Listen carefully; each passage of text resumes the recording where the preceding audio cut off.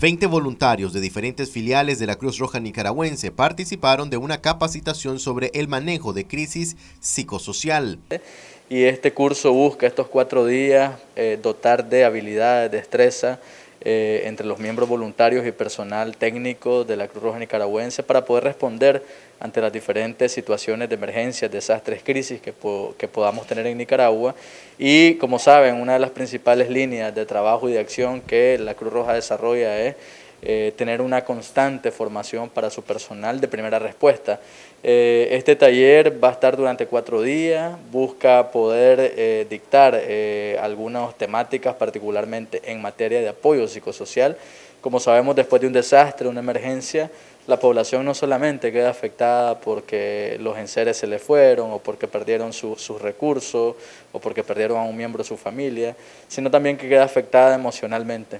Eh, psicológicamente y este taller busca activar esa brigada de primeros auxilios psicológicos, esas brigadas que den acompañamiento a la familia.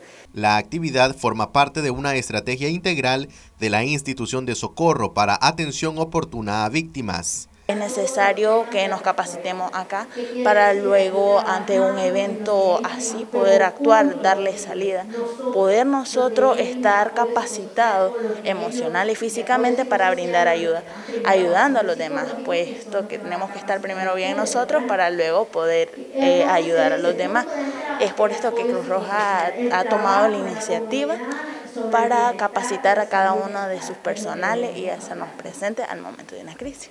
¿Qué tan frecuente eh, se utiliza este mecanismo de apoyo psicosocial en las personas? Ok, el apoyo psicosocial debe de utilizarse siempre, en cada momento, puesto que las situaciones de estrés que sufren las personas no solamente son físicas, sino que meramente emocionales.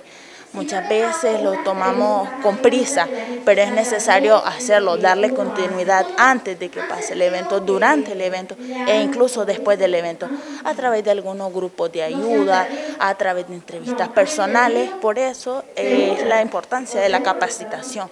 Marcos Medina, Noticias 12.